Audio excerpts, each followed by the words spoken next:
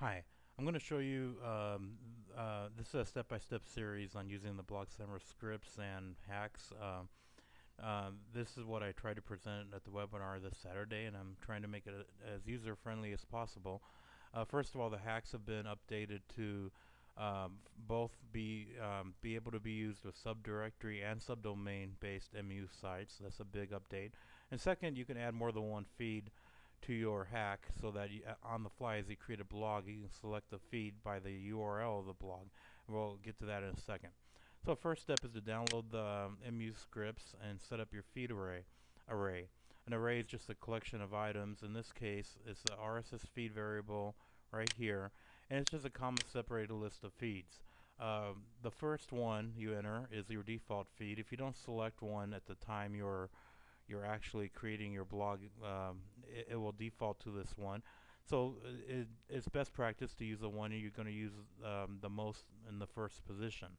And, and, then after that, you can select any of the other ones just by the numeric value, num the order of them. Um, but it's zero based. So the first one you would you would select you would use uh, zero. Second one you would select the uh, you'd use the number one and so on. And we'll get to that when I show you the URL. What I have here, I have two uh, two feeds which are regenerated from the server edition. One of them is the eBay feed for product searches, and the second one is a news feed. Uh, sometimes you want to add different types of feeds just in case you you know that the if you, in case you know that the first feed won't uh, give you results, you have another feed to fall back on. So I have a new site here, blogbeam.com.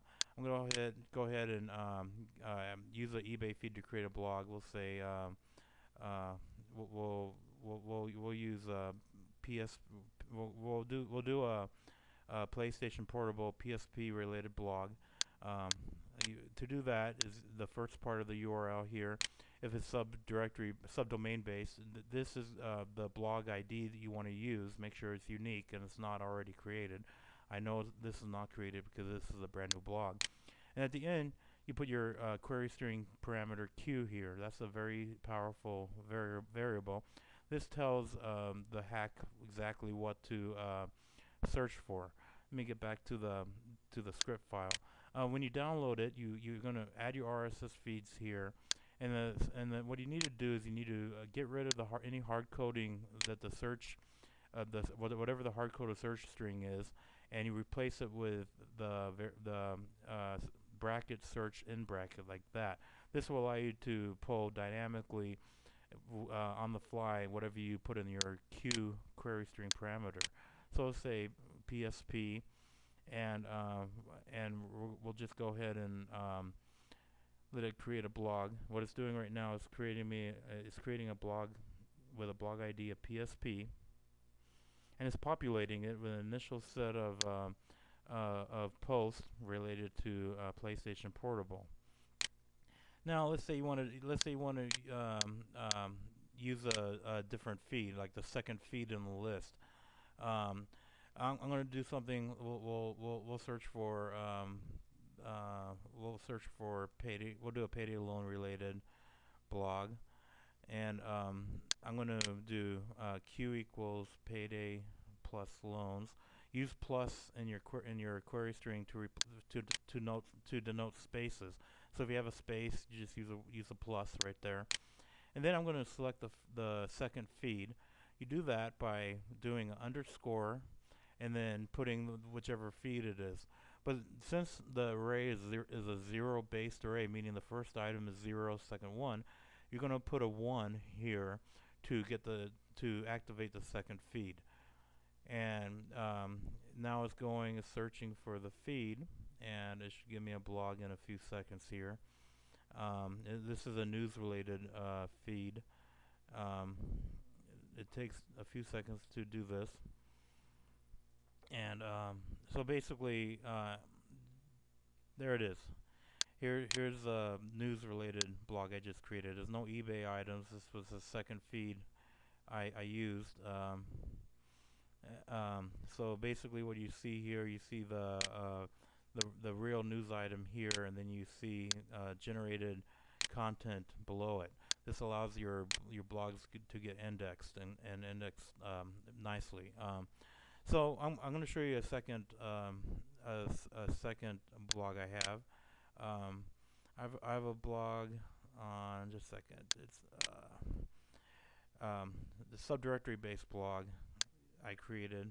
I created one on a free blog hosting platform, and that's what what the power of this hack is because a lot of free w- uh, PHP web hosting platforms do not give you access to um, uh, wildcard subdomains. So here's my um, subdirectory based blog. If I go down here, I already have some blogs created. I installed this hack on this blog as well. I'm going to go ahead and add a, to do it with a subdirectory, it's a little bit different. You don't have a subdomain to put your, uh, your blog ID. So the way I do this is first you still have the Q parameter, we'll say PSP, and then uh, we're looking for PSP PlayStation Portable again. And then I can also select the feed if I wanted to, but I'm, I'm going to use a default feed. And then you do um, um, um, to to denote the blog ID.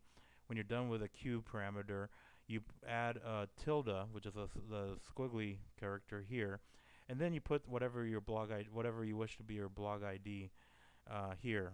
Let's say PSP Online, and then go ahead and hit enter.